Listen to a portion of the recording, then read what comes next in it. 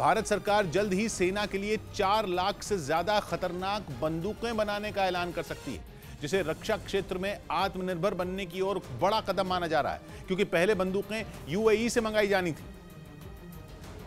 लेकिन अब खबर है कि भारत की सेना के लिए भारत में ही खतरनाक बंदूकें बनाई जाएँगी, जिसके लिए आर्मी, नेवी और एयरफोर्स तीनों मिलकर काम करेंगे। खबर है कि भारत सरकार जल्द ही इससे जुड़ा ऐलान कर सकती है, जिसके संकेत तब मिले जब यूएई के साथ हुई पचानवे हज़ार कैरिकल बंदूकों की डील को होल्ड कर दिया गया। और खबर आई की भारत सरकार चार लाख बीस हज़ार बंदूकें भारत में बनाने की योजना बना रही है, जिसका कॉन्ट्रैक्ट दो अलग अलग कंपनियों को दिया जा सकता है, क्योंकि सरकार नहीं चाहती कि सेना को बंदूकें मिलने में देरी हो। यानी रक्षा क्षेत्र में आत्मनिर्भर बनने के लिए भारत एक और बड़ा कदम उठाने की तैयारी कर रहा है। सेना को ये बंदूकें जल्द से जल्द चाहिए इसलिए सरकार बिना देर किए फैसला ले सकती है।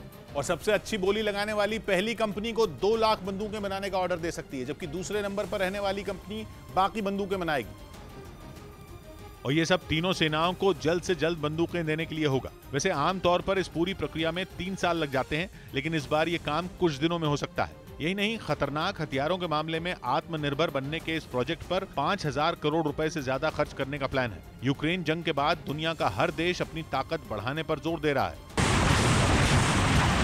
हथियार इकट्ठा करने के मामले में तो होड़ सी लग गई यही नहीं, इस जंग ने यह भी साबित कर दिया कि जो देश हथियारों के मामले में जितना आत्मनिर्भर होगा, दुनिया उसका उतना लोहा मानेगी। और भारत ने भी इस ओर तेज़ी से काम शुरू कर दिया वैसे भारत सरकार पहले से ही इस पर ज़ोर दे रही है। जिसकी मिसाल है तेजस जैसा लड़ाकू विमान और डीआरडीओ की ओर से बनाई गई मिनी मशीन गन, जो देखने में छोटी सी है, लेकिन बड़े बड़े दुश्मनों के दांत खट्टे कर सकती है।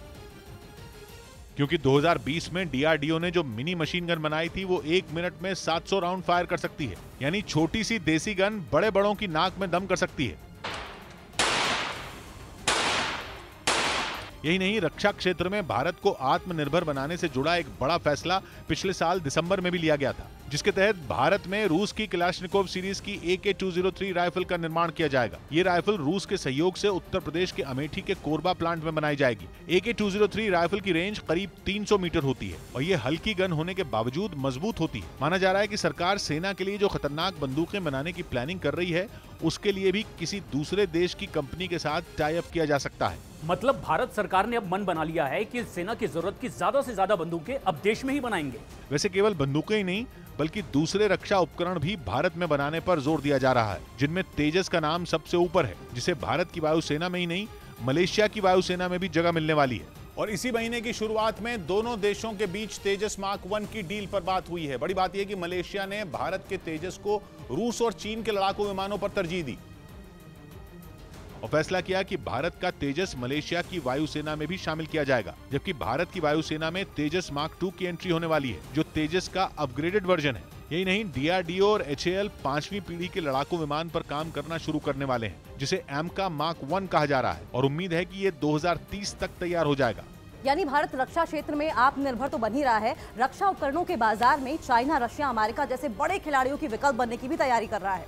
मतलब बंदूक हो या लड़ाकू विमान, भारत सरकार की कोशिश है कि सेना की ज़रूरत की हर चीज़ देश में बने और दूसरे देशों को रक्षा उपकरणों का निर्यात भी हो, जिसकी शुरुआत तेजस से हुई और उम्मीद है कि इस लिस्ट में और कई नाम जुड़ेंगे।